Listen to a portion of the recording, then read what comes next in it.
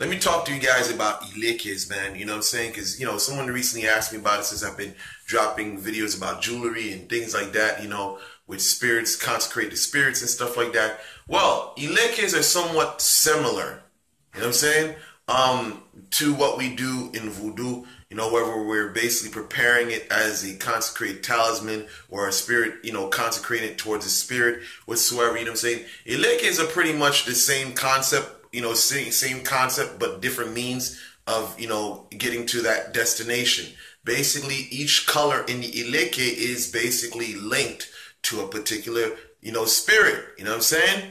Um, and with that, you also have uh, the preparation. You know what I'm saying? So for me, I would never be caught wearing plastic around my neck. You know what I'm saying? But it's the same concept.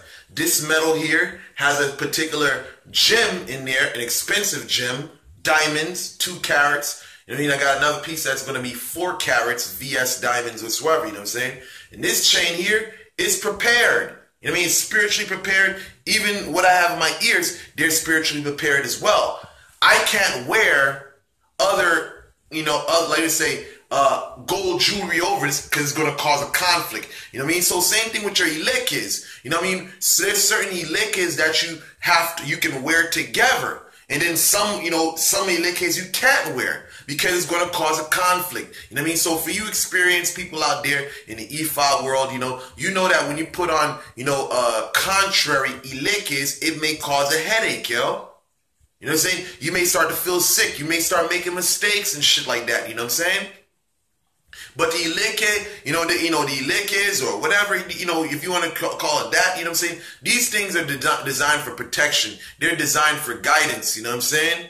So when you're doing, when you when you you know you, you know when you're basically utilizing these things, this is not just something that you read in a book and you know you put together. Come on, man. You know these things are you know basically ritually put together. You know what I'm saying? You can't just get you put these colors and think that's it. It's more to it. You know what I'm saying? But of course, you know, you know, we Haitians, we do things a little different. You know what I mean? I don't wear, I don't wear plastic around my neck. You know what I'm saying? It's either going to be gold, you know what I'm saying? Or it's going to be some other metal form with diamonds in there. You know what I'm saying? But of course, you know, you got to know what you're doing. You know what I mean? You crossing these things all together, you know, you're going to end up fucking yourself up, man. You'll piss those spirits off and the spirits come back and fuck you up. Mm-hmm.